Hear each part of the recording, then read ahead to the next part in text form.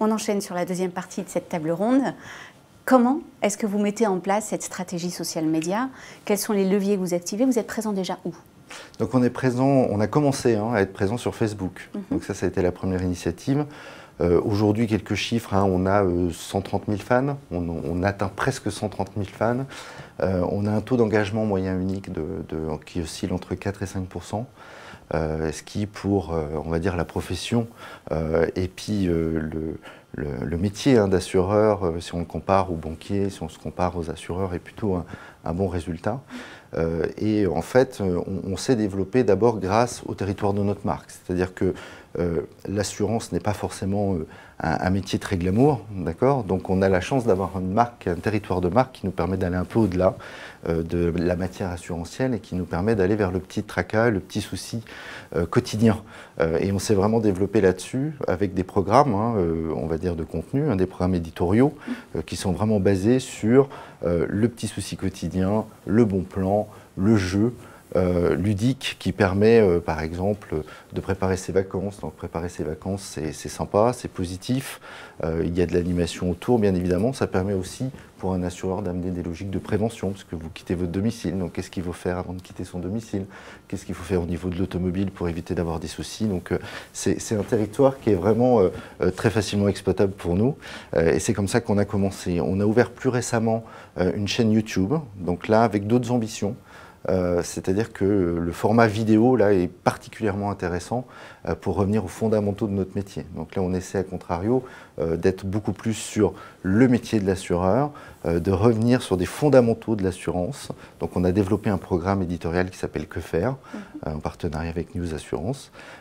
et donc là, on revient aux fondamentaux de l'assurance et on essaie d'expliquer globalement pourquoi, euh, à quoi sert un assureur finalement, euh, et euh, de combattre un peu l'idée assureur-voleur, hein, d'arriver avec des, belles histoires. Non, non, mais c'est dans l'inconscient collectif de, de, tout un chacun, et c'est très compréhensible puisque on paye un service que des fois on n'utilise pas. Donc c'est quelque chose d'assez compliqué. Donc on revient aux fondamentaux, on raconte des belles histoires avec des gens qui effectivement ont eu besoin de cette, de cette mutualité, à l'appel à cette mutualité pour se reconstruire, reconstruire son foyer, euh, et des, aussi des, des, des, programmes éditoriaux pour revenir sur bah, l'assurance santé, c'est quoi Il faut faire attention à quoi quand on veut euh, prendre une complémentaire santé ou une assurance auto ou habitation.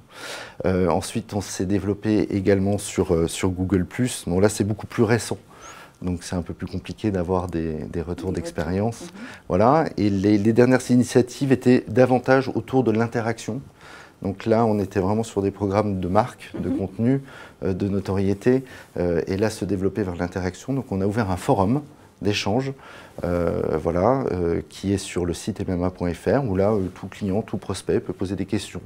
la plupart du temps, d'ailleurs, on a des questions assez techniques, parce que l'assurance est un métier assez technique. donc, et la, spécificité qu'on a voulu, enfin la, ligne de conduite qu'on a voulu prendre, c'est de ne pas confier justement ce forum à un community manager, voilà, mais davantage de laisser les personnes volontaires dans l'entreprise répondre directement aux clients, ce qui implique une petite prise de risque, hein, puisqu'il est dans l'assurance, le risque, on n'aime pas trop en prendre. Donc euh, effectivement, c'était assez original. Par contre, ça a eu une grande vertu, euh, c'est effectivement de diffuser la voix du client dans l'entreprise et faire en sorte que celle-ci soit, soit diffusée et entendue. Alors justement, Fabrice, cette euh, stratégie basée sur l'engagement dont vous nous parliez, avec un taux d'engagement par rapport à votre secteur qui est plutôt bon, est-ce que ça vous a apporté une connaissance un peu plus poussée de, des euh, des fameux socionautes, des personnes que vous ciblez, euh, et quels sont les bénéfices que vous tirez de cette stratégie? Bah, les, bénéfices qu'on tire de cette stratégie, c'est que déjà, et on, on, sait que ça contribue à la notoriété.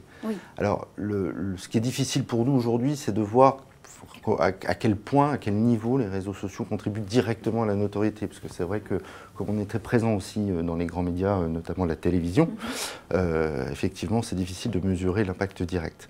Euh, par contre, effectivement, on a euh, un autre avantage, mais qui en termes d'héroïne, je dirais, est un peu plus à moyen terme, c'est que ça nous permet euh, de mieux connaître nos clients, nos prospects, mhm. à travers l'analyse effectivement de leur comportement et des femmes. Et d'ailleurs, on voit bien, on voit très bien hein, que Facebook, pour ne parler que de, que de celui-là, est, un, est, un, média qui n'est pas du tout générationnel. C'est-à-dire que globalement, plus de 45% de nos fans ont, plus de 35 ans et plus de 15% ont plus de 55 ans. Donc on voit bien que c'est vraiment un média très ouvert et c'est très intéressant en matière de connaissances clients, effectivement. Et, d'un point de vue business, vous me disiez, euh, quand on avait préparé cet entretien, qu'il y avait malgré tout un flux migratoire, parce que vous, la finalité aussi d'un point de vue business, c'est de demander des devis en ligne, mmh. ou par téléphone, mais demander des devis. Est-ce que les réseaux sociaux euh, vous avez observé à partir des réseaux sociaux un flux migratoire vers le site. En oui, on l'observe, on l'observe. Alors pour être honnête, c'est pas le, c'est pas la source première hein, de devis, bien évidemment. Euh, par contre, on fait tout euh, en matière de, contenu pour être évidemment le plus intéressant avant d'être intéressé, puisque c'est, notre credo.